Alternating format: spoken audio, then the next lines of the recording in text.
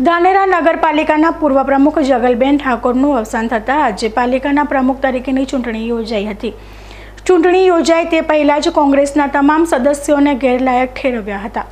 પરંતુ આજે પાલિકા પ્રમુખની ચૂંટણી માટે ભાજપના બે સદસ્યો ઉમેદવારી નોંધાવી હતી અને ચૂંટણીમાં બંને ઉમેદવારોને સરખા મત મળતા ચિઠ્ઠી દ્વારા પ્રમુખની નિયુક્તિ કરવામાં આવી હતી. ધાનેરા નગરપાલિકાના પ્રમુખની ચૂંટણીને લઈ ધાનેરાના રાજકારણમાં ભારે ગરમાવો આવી ગયો છે. ગઈકાલે મોડી સાંજે ગાંધીનગર તરફથી આવેલા બોમ્બને પગલે ધાનેરા પંથકમાં ભારે અવાજ કર્યો હતો.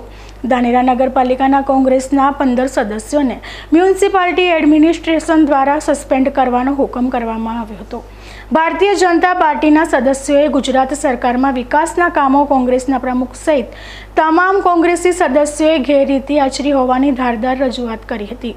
જેના પગલે બીજી વખત મ્યુનિસિપાલિટી એડમિનિસ્ટ્રેશન દ્વારા તમામ પંદર સદસ્યોને સભ્યપદેથી દૂર કરવાનો હુકમ કરવામાં આવ્યો હતો.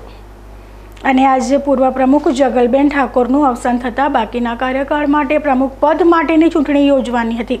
જો કે ગત સાંજે કોંગ્રેસના તમામ સદસ્યોને સભ્યપદ પરથી દૂર કરતા આજની પ્રમુખ માટેની ચૂંટણીમાં કોંગ્રેસના સદસ્યો બેસી શક્યા નહોતા. પરંતુ કોંગ્રેસનું કામ આજે ભાજપના સદસ્યોએ કર્યું હતું. ભાજપ દ્વારા પ્રમુખ પદ માટેનો મેન્ટેન્ડ જ્યોત્સનાબેન ત્રિવેદીને આપવામાં આવ્યો હતો. પરંતુ ધાનેરા નગરપાલિકાના સદસ્ય કિરણબેન સોનીએ ઉમેદવારી નોંધાવતા ચૂંટણીના અધ્યક્ષ અને ધાનેરાના પ્રાંત અધિકારી યોગેશભાઈ ઠક્કરે ચૂંટણીની પ્રક્રિયા હાથ ધરી હતી. આ પ્રક્રિયા દરમિયાન જ્યોત્સનાબેન ત્રિવેદી અને કિરણબેન સોનીની છ છ મત મળતા આ ચૂંટણી ટાઈ પડી હતી. જેથી ચૂંટણી અધિકારી યોગેશભાઈ ઠક્કરે વિજેતા ઉમેદવારની જાહેરાત કરવા માટે ચિઠ્ઠી ઉછાળી હતી, જેમાં કિરણબેન સોનીને વિજેતા જાહેર કરવામાં આવ્યા હતા. આજરોજ ધાનેરા નગરપાલિકાના પ્રમુખની બાકી રહેતી ટર્મ માટેની ચૂંટણી યોજવામાં આવેલ હતી. જેમાં બાર સભ્યોએ ભાગ લીધો હતો અને બે ઉમેદવારી પત્રો રજૂ થયા હતા. એમાં જોશનાબેન યોગેશભાઈ ત્રિવેદી અને કિરણબેન સંજયભાઈ સોની.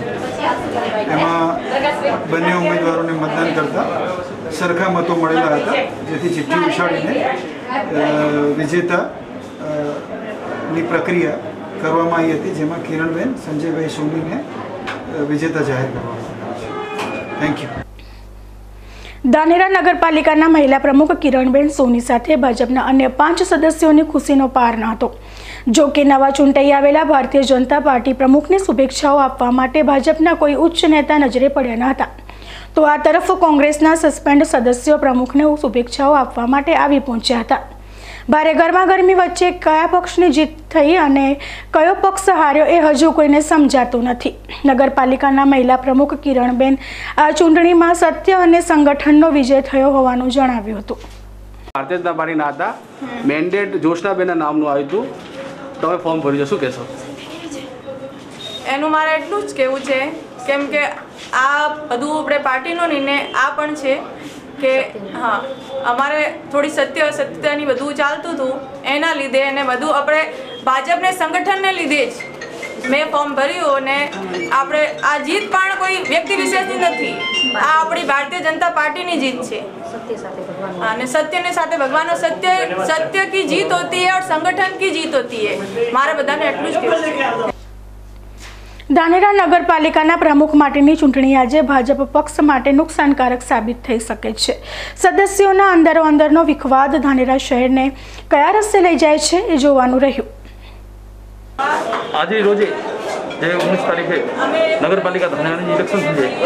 એની અંદર તમામ બાર સભ્ય બીજેપીના હોવા છતાં પણ અમારે ન છૂટકે અમે લોકોએ ઉચ્ચ લેવલે બહુ રજૂઆત કરેલી કે સાહેબ, દરેક વ્યક્તિને વિશ્વાસમાં લઈ નાના નાના વ્યક્તિને અને તમે જે ડિસિઝન લેશો અમને સર્વમાન્ય છે. પણ ત્યારે એમને એક તરફી ડિસિઝન હતું, ત્યારે અમારે ના છૂટકે આ રસ્તો અપનાવવો પડે છે. અને હર હંમેશા નગરપાલિકાની અંદર, ધાંધ્રાના વિકાસની અંદર, હર હંમેશા વ્યક્તિગત અને સામૂહિક રીતે અમે અમારું યોગદાન આપતા રહ્યા છે અને આપતા રહેશું. વિરોધમાં નથી ગયા તમે એવું લાગતું નહીં અમે કોઈના વિરુદ્ધનું સાહેબ નથી ગયા. અમે હમણાં બીજી પાર્ટીને સહકાર આપ્યો હોત તો એ પાર્ટીને ગદ્દાર તરીકે બાકી પાર્ટીની અંદર કેવું કોઈ નામ આપવાની જરૂર નથી. પણ ગદ્દારી કરી અને સત્તામાં જે જે લોકો બેઠા છે એ લોકોને શીખવાની જરૂર છે સાહેબ. અમે કોઈ ગદ્દારી નથી કરી.